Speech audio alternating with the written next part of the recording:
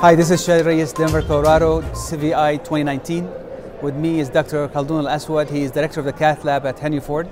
Welcome, Dr. Al Aswad. Thank you so much for having me here. Today, you had uh, co chaired a shock session at CVI, and uh, it was a lot of discussion about hemodynamic support. Where in 2019, give us the bottom line. All right, so shock is becoming a hot uh, topic nowadays, and um, honestly, uh, uh, there are a lot of work on shock since 1974. The problem, we have not been able to move the needle in mortality, and as you know, it's one of the most lethal disease we treat in the cath lab. And uh, uh, we knew from the clinical trials, from shock trial, that revascularization emerged as a very beneficial and it actually decreases mortality. But after that, the support device and hemodynamic support uh, was a practice and a practice without the previous like a kind of guidelines. So the mortality stayed stagnant and lately our group in henry ford hospital we started uh, uh, first we started the detroit uh, uh, uh, cardiogenic shock initiatives then it became a national cardiogenic shock initiative and we were able to demonstrate that the mortality decreased significantly from 50% to 30% in our, our patient. So there are much more national and international attention to patients who are presenting with shock, and that actually poses a new question. How do we uh, institute the hemodynamic support in those patients? Because this is basically the next frontier.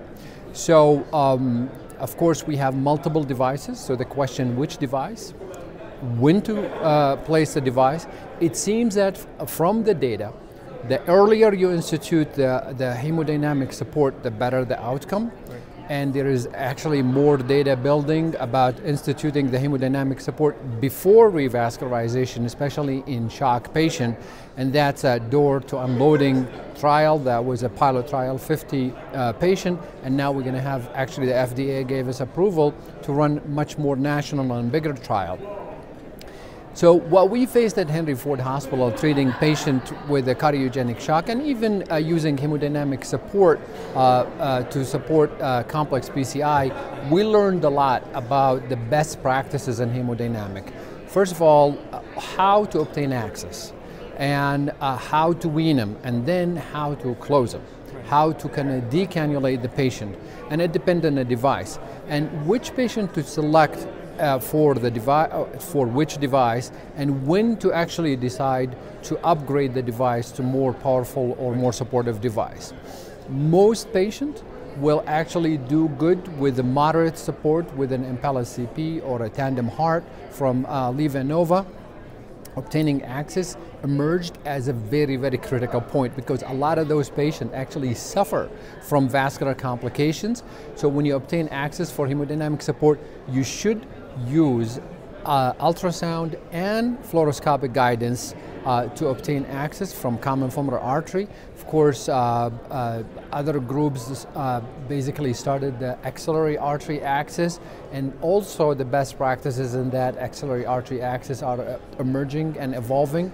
Then you support them in the cath lab now there is a need to, ha uh, to have uh, much more uh, attention to hemodynamic outcome.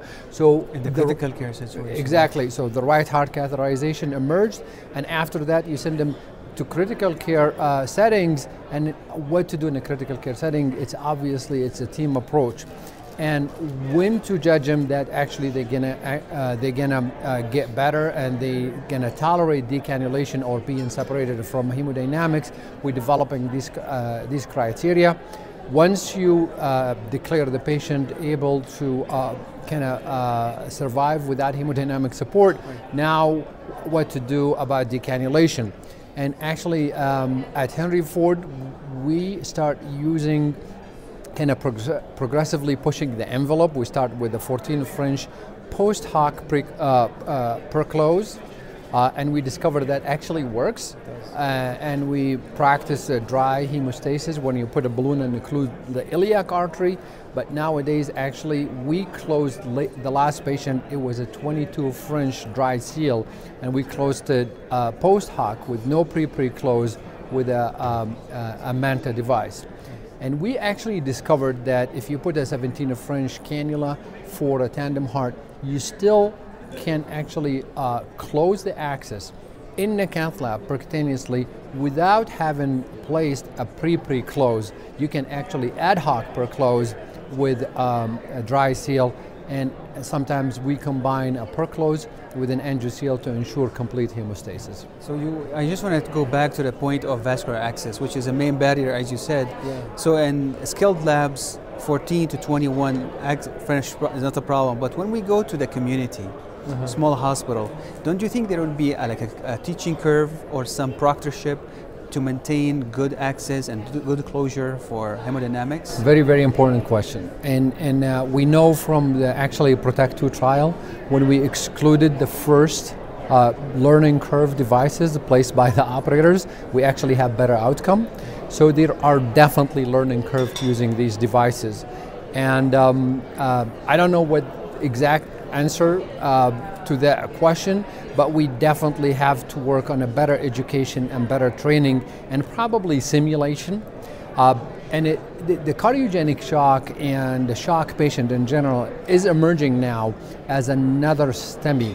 So in the back in the 1980s, 1990, we developed the regional STEMI programs where actually you have a, a, hub and spoke program to send the STEMI patient to the PCI centers.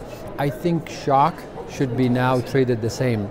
And there is a paper by Mauricio Cohen and his group that actually talked about that. It's very valuable to review for anyone who is trying to uh, start the shock program. All right. So it sounds like the access is a, is a major uh, learning curve, learning the tools and understanding the shock patient and eventually mm-hmm. triaging the patient to the center with a high volume. Thanks so much, Dr. Aswad, for your time. This no is problem. really uh, great uh, info about shock. Please watch this video and others on CVI YouTube channel. This is Chadi Alraies from Denver, Colorado. Thank you. Thank you so much. All right. Thank you.